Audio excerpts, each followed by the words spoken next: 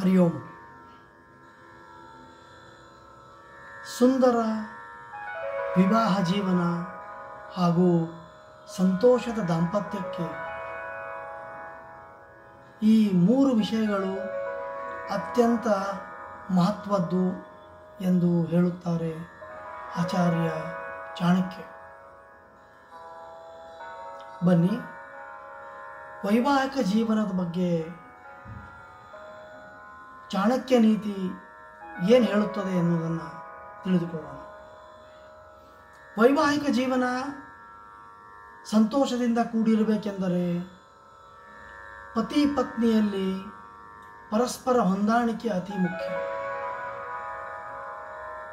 ಇದರೊಂದಿಗೆ ಆಚಾರ್ಯ ಚಾಣಕ್ಯರು ಒಂದಿಷ್ಟು ವಿಷಯಗಳನ್ನು ದಾಂಪತ್ಯ ಜೀವನದಲ್ಲಿ ಕಾಪಾಡಿಕೊಳ್ಳಬೇಕೆಂದು ತಿಳಿಸಿದ್ದಾರೆ. ಚಾಣಕ್ಯ ನೀತಿಯ ಪ್ರಕಾರ ಸಂತೋಷದ ದಾಂಪತ್ಯ ಜೀವನಕ್ಕೆ ನೆನಪಿನಲ್ಲಿಟ್ಟುಕೊಳ್ಳಬೇಕಾದ ಈ ಅತ್ಯಂತ ಮೂರು ಪ್ರಮುಖ ವಿಷಯಗಳು ಯಾವುವು? ತಿಳಿಯಿರಿ. ಆಚಾರ್ಯ ಚಾಣಕ್ಯರು ತಮ್ಮ ನೀತಿ ಜೀವನಕ್ಕೆ ಸಂಬಂಧಿಸಿದ ಅನೇಕ ವಿಷಯಗಳನ್ನು ವಿವರಿಸಿದ್ದಾರೆ. ಇದರಲ್ಲಿ ಸಂಬಂಧಗಳ ಬಗ್ಗೆಯೂ ಸಾಕಷ್ಟು ಮಾಹಿತಿಯನ್ನು ನೀಡಲಾಗಿದೆ. ಒಬ್ಬ ವ್ಯಕ್ತಿಯು ಚಾಣಕ್ಯ ನೀತಿಯನ್ನು ತನ್ನ ಜೀವನದಲ್ಲಿ ಅಳವಡಿಸಿಕೊಂಡರೆ ಆಗ ಅವನ ಪ್ರಗತಿಯನ್ನು ತಡೆಯಲು ಯಾರಿಂದಲೂ ಸಾಧ್ಯವಾಗುವುದಿಲ್ಲ. ಅಂಥ ವ್ಯಕ್ತಿಗೆ ಸಮಾಜದಲ್ಲಿ ಗೌರವ ಕಡಿಮೆಯಾಗಲು ಸಾಧ್ಯವೇ ಇಲ್ಲ.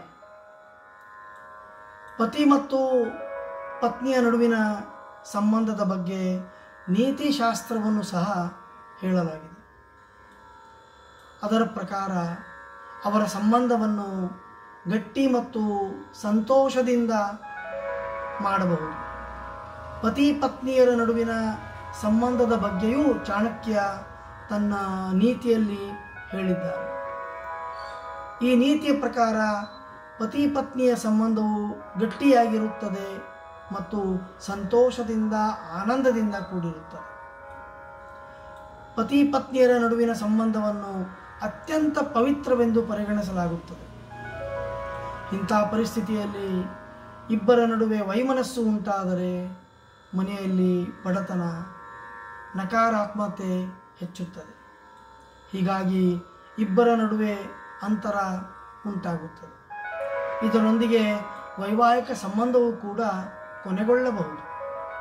ಆದ್ದರಿಂದ ಆಚಾರ್ಯ ಚಾಣಕ್ಯರ ನೀತಿಯನ್ನು ಪ್ರತಿಯೊಬ್ಬ ಪತಿ ಪತ್ನಿಯು ತಿಳಿದುಕೊಳ್ಳುವುದು ಬಹಳ ಅವಶ್ಯಕ ಹಾಗೂ ಬಹುಮುಖ್ಯ.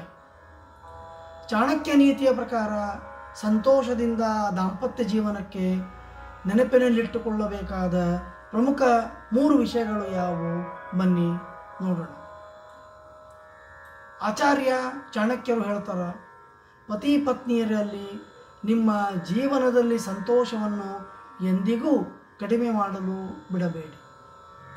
ಒಳ್ಳೆಯ ಮತ್ತು ಕೆಟ್ಟ ಸಮಯದಲ್ಲಿ ಪತಿ ಪತ್ನಿಯರಿಬ್ಬರೂ ಪರಸ್ಪರ ಹೊಂದಾಣಿಕೆ ಮಾಡಿಕೊಂಡು ಹೋಗಬೇಕು. ಪರಸ್ಪರ ಸಹಕಾರದಿಂದ ಪ್ರತಿಯೊಂದು ಕೆಲಸದಲ್ಲಿಯೂ ಸಮಾನ ಭಾಗವಹಿಸುವಿಕೆ ಇರಬೇಕೆಂದು ಆಚಾರ್ಯರು ತಿಳಿಸುತ್ತಾರೆ. ಗಂಡ ಹೆಂಡತಿಯನ್ನು ಪ್ರೀತಿಸಿದ ಸಾಲದು, ಒಬ್ಬರನ್ನೊಬ್ಬರು ಗೌರವಿಸುವುದು ಕೂಡ ಅಗತ್ಯ ಎಂದು ಚಾಣಕ್ಯ ತಮ್ಮ ನೀತಿಯಲ್ಲಿ ಹೇಳಿದ್ದಾರೆ. ಪ್ರೀತಿಯು ಅಲ್ಪಕಾಲಿಕವಾಗಿರಬಹುದು. ಆದರೆ ನೀವು ಯಾರೊಬ್ಬರ ಗೌರವವನ್ನು ನೋಯಿಸಿದರೆ ನಂತರ ಸಂಬಂಧದಲ್ಲಿ ಅಂತರ ಹೆಚ್ಚಾಗುತ್ತದೆ. ಚಾಣಕ್ಯ ನೀತಿಯ ಪ್ರಕಾರ ನಿಮ್ಮ ಅಥವಾ ನಿಮ್ಮ ಹೆಂಡತಿ ಎಂದಿಗೂ ಇತರ ಜನರ ಮುಂದೆ ನಂದನೀಯ ಮಾತುಗಳನ್ನು ಮಾತನಾಡಬಾರದು. ನಿಮ್ಮ ಸಂಗಾತಿಯು ತಪ್ಪು ಮಾಡಿದ್ದರೆ ನೀವು ಅದನ್ನು ಖಾಸಗಿಯಾಗಿ ಅವರಿಗೆ ತಿಳಿಸಬಹುದು. ಎಲ್ಲರ ಮುಂದೆ ಕೆಟ್ಟ ಸ್ವಭಾವದ ಅಥವಾ ನಿಂದನೀಯ ಪದಗಳನ್ನು ಬಳಸುವುದು ನಿಮ್ಮ ಗೌರವವನ್ನು ಕಡಿಮೆ ಮಾಡುತ್ತದೆ. ಹಾಗೂ ನಿಮ್ಮ ಸಂಬಂಧದಲ್ಲಿ ಬಿರುಕು ಉಂಟಾಗುವಂತೆ ಮಾಡುತ್ತದೆ. ಹಾಗಾಗಿ ತಮಾಷೆಗೂ ಕೂಡ ಇಂಥ ತಪ್ಪುಗಳನ್ನು ಮಾಡಬೇಡಿ ಎಂದು ಆಚಾರ್ಯ ಚಾಣಕ್ಯ ತಿಳಿಸುತ್ತಾರೆ. ಆಚಾರ್ಯರು ತಮ್ಮ ನೀತಿಯಲ್ಲಿ ಹೇಳಿರುವ ಪ್ರಕಾರ ಪತಿ ಪತ್ನಿಯರು ಯಾವಾಗಲೂ ಮೇಲಿನ ವಿಷಯಗಳನ್ನು ಗಮನದಲ್ಲಿಟ್ಟುಕೊಂಡು ವರ್ತಿಸಿದರೆ ಅವರ ದಾಂಪತ್ಯ ಜೀವನವು ಸುಖ ಸಂತೋಷ ಆನಂದದಿಂದ ಕೂಡಿರುತ್ತದೆ. ಸರ್ವೇ ಜನ ಸುಖಿನೋ